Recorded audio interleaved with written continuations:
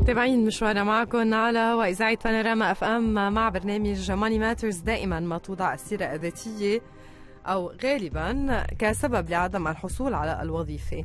لتجد نصائح تنهال عليك لتعديلها وإصلاحها في حين قد تكون أسباب أخرى لم تقف عليها لتصلحها لتجد نفسك مستمرا بالبحث عن وظيفة دون جدوى. اليوم رح نتحدث أكثر وندخل بهذا الموضوع مع ضيفنا مستشار توظيف والتطوير المهني الأستاذ عبد العزيز التواجري أهلا وسهلا فيك أستاذ عبد العزيز. أهلا وسهلا حياك الله وهذا شرف لي تواجدي معكم. الله يحييك يا رب وأهلا وسهلا فيك، أنا دائما بشوف يعني آه، من تحديدا مستشارين توظيف آه، نقاط حول موضوع السيرة الذاتية. بداية آه، ما الخطوات يلي يجب خلينا قبل ما ندخل بموضوع السيرة الذاتية ما الخطوات يلي يجب على باحث عن العمل القيام بها قبل التقديم على فرص العمل؟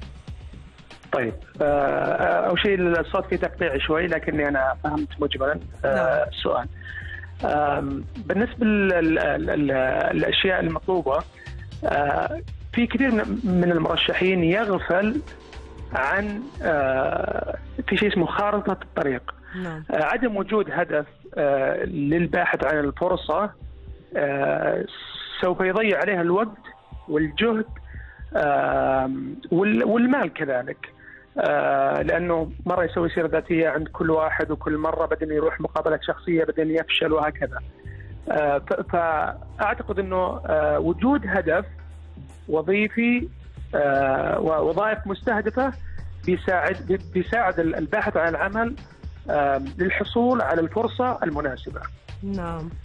آه لماذا الكثير نعم تفضل تفضل أستاذ آه فبعدها لأنه وجود الهدف راح يعني يسهل أشياء كثيرة جدا بعدها مثلا إنه كيف يستعد المقابلة أو السيره الذاتيه أو كيف مثلا آه، آه، يتخصص في هذا المجال من ناحية دورات أو خبرات وإلى آخره.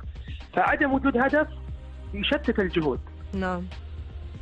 طيب لماذا الكثير يرى أن السيرة الذاتية هي السبب الوحيد بالفشل للحصول على العمل وهل هي كذلك؟ آه معلش بس الصوت يقطع لو تعيدين السؤال ليش الكثير بيشوفوا إنه السيرة الذاتية هي السبب الوحيد بالفشل بالحصول على العمل؟ وهل هالشيء صحيح؟ لا ابدا. السيرة الذاتية آه، يعني آه، تكون سبب وليس دائما. ربما تكون سبب إذا كان الباحث عن عمل لا يجد أو لا يحصل على فرص فرص مقابلات شخصية. لكن إذا كان الباحث عن العمل يحصل آه، مقابلات شخصية فهذا معنى انه السيرة الذاتية عنده غالبا ما يكون فيها فيها فيها مشكلة لكن ممكن تكون مشكلة إذا إذا حضر المقابلات وما راح للخطوه اللي بعدها مثلا مقابلة أخرى أو مقابلة نهائية أو الحصول على الفرصة نفسها فممكن يكون عنده تحديات من ناحية آه، آه، جاهزيته للمقابله الشخصية. نعم. آه، لكن ما دام إن إن إن البحث عن العمل يحصل على الفرصة اللي هي المقابله الشخصية فغالبا ما في مشكلة بالسيره الذاتية. نعم. آه، ما الأسباب يلي تعيق الباحث عن العمل الحصول على فرصة وظيفية مناسبة؟ غير السيرة الذاتية نحن حطيناها على جنب. آه آه بس لو تعيدين السؤال أنا عندي مشكلة بالذات أنا بدي أعتذر بدي أعتذر منك بس نحن خطنا ثابت. ما بعرف إذا من عند حضرتك. يعني نحن عم نتصل من رقم ثابت. بس رح ارجع لك إياه. شو الأسباب يلي تعيق الباحث عن عمل الحصول على فرصة وظيفية مناسبة؟ طيب هي أكبر أكبر مشكلة آه، عند الباحث عن العمل هو بعده عن سوق العمل. والبعد هذا نعم. يبني توقعات خاطئة عن سوق العمل. يعني أنا آه، مثلا سبق وأشرت إلى أنه 73% من الباحثين 73% من العاملين في المجال الإداري نعم. في العمل الإداري يعني ليس دكتور وليس مهندس وليس محاسب، العمل الإداري اللي هو HR و marketing وغيرها 73% منهم يعملون في غير تخصصاتهم. يعني ممكن تلقى واحد مثلا محاسبة يشتغل HR أو marketing أو ممكن يكون آه، طبيب ويشتغل marketing. آه هذا الشيء يفوت فرص كبيرة على على الباحثين عن العمل لأنه يحصر نفسه فقط على على 27% آه من الوظائف. لأنه يعتقد إنه هو تخرج مثلا مثلا طبيب أسنان هو لازم يكون طبيب أسنان فقط. حتى لو ما كان عنده اهتمام أو شغف في هذا المجال يقول أنا خلاص هذا قدري ومصيري بينما هو لا يعرف إنه في ممكن إنه تصحح هذا المسار إذا كنت دخلت هذا المجال وما كان عندك الخيار. نعم. طيب كيف بيحدد الباحث عن عن العمل عائق أمامه؟ يعني نحن قلنا في حال قطع موضوع السيرة الذاتية لم تكن السيرة الذاتية هي المشكلة. طيب من بعدها كيف بيقدر يحدد ما عجبهم ما عنده كاريزما آآ آآ منه فلكسبل كيف بيقدر يعرف الواحد؟ شو الإشارات يلي بيقدر الواحد يعرفها شوفي إحنا إحنا يعني بالوطن العربي بشكل عام ما عندنا وعي كامل عن السيرة الذاتية ومدى أهميتها في الحصول على فرص فرص وظيفية.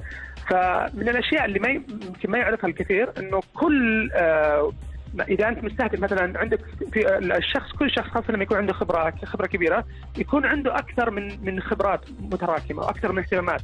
يعني ممكن تكونين أنت مذيعة وبنفس الوقت أنت مثلا طبيبة أسنان. نعم. فتقدرين تشتغلين الشغلتين هذه كلها. فلذلك من المهم يكون عندك سيرتين ذاتية.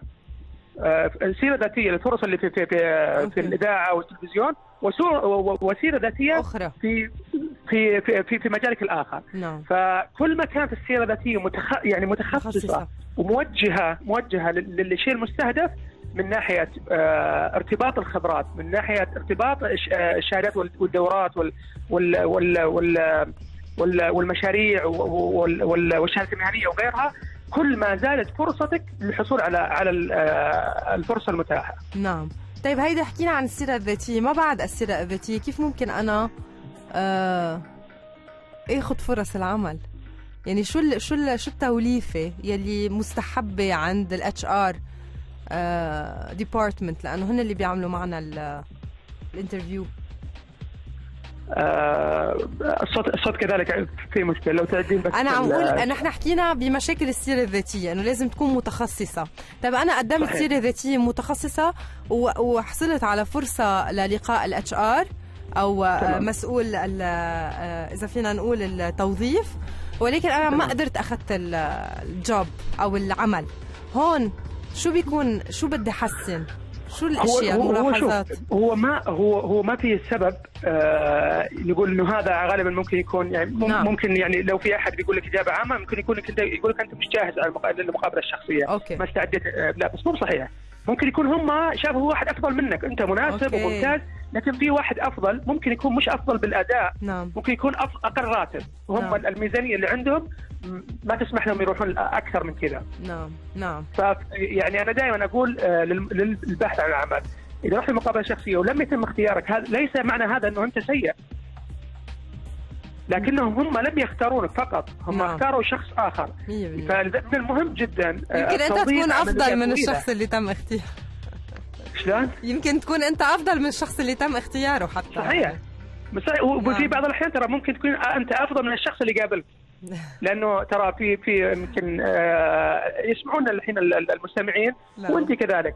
لابد انكم مريت في مقابله شخصيه واكتشفت أنه في ناس في بعض الأحيان يقابلونكم هم ما لهم علاقة في ال business صحيح. لا ولا بال business.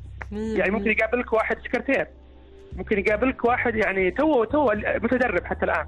نعم. فليس كل الجهات العمل آه ناضجة آه في آه يعني عمليات التوظيف نعم أسعدنا لقائنا معك بالرغم من التقطيع يلي صار بالخط حضرتك مستشار التوظيف والتطوير المهني الأستاذ عبد العزيز التواجي إن شاء الله بيكون لنا لقاءات ثانية معك. أهلا وسهلا فيك. يا هلا يا شكرا.